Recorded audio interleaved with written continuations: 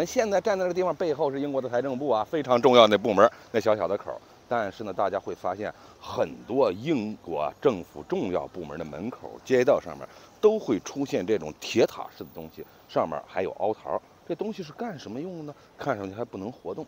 这个得追溯到爱尔兰共和军非常活跃的时候了，因为那会儿爱尔兰共和军老放个炸弹啊，搞个恐怖袭击啥的。包括当年撒切尔夫人在布莱顿酒店住宿的时候，她房间里边的浴缸都被炸飞了。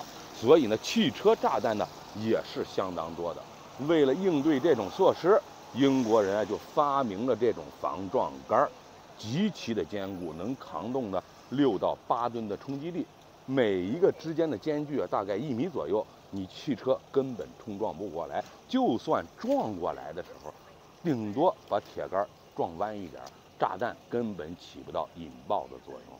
这就是英国人做的一种反恐的措施。他们的反恐呢是外松内紧，看上去好像没有什么人做防护，但是呢，这些小小的措施呢，就有效地阻止了很多恐怖袭击。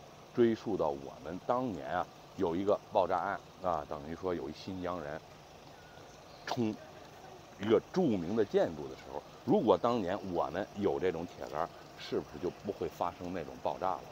所以呢，这种呢反恐的知识呢，应该互相交流、互相学习。会觉得。